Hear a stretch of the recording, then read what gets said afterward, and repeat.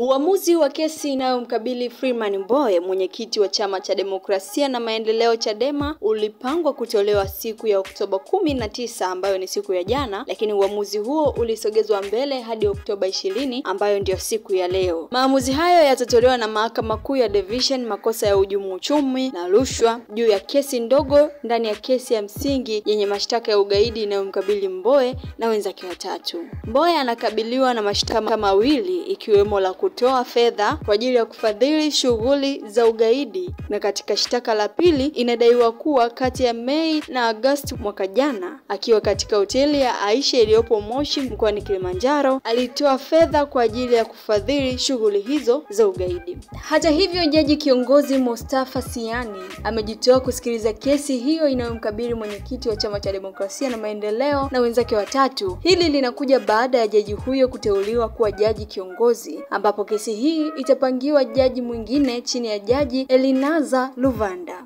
Hii leo mahakamani Mbowe amewasili na kitabu ambacho kinaonyesha picha ya Nyerere. Mtu mwingine ambaye ameonekana mahakamani hii leo ni pamoja na Profesa Jay ambaye aliwahi kuwa mbunge wa Mikumi na ni mwanachama wa chama cha demokrasia na maendeleo Chadema. Licha ya hao, pia kulikuwa na baadhi ya wanachama wa chama cha demokrasia na maendeleo nje ya mahakama ambao wa, wanafanya maombi nje kwa ajili ya uamuzi wa kesi hiyo ambayo inamkabili mwenyekiti wao wa chama cha demokrasia na maendeleo Chadema Freeman. Endelea kutazama Spin Tanzania. Bonyeza hayo maandishi mekundu yaliyoandikwa subscribe na kengele ili kupata taarifa zaidi.